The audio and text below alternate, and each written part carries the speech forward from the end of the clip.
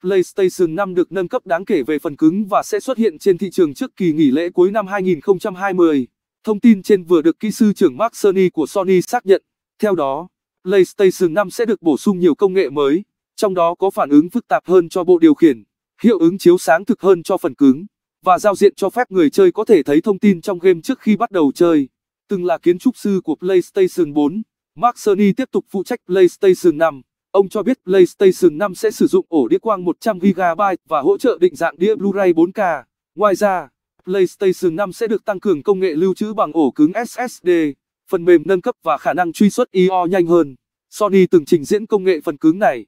Theo đó thời gian tải Spider-Man trên phần cứng PS4 hiện tại được rút ngắn từ 19 giây xuống còn chưa tới 1 giây. Sony cũng phát hành cơ chế cho phép nhà phát triển có thể cài đặt hoặc gỡ bỏ một phần tính năng trong game.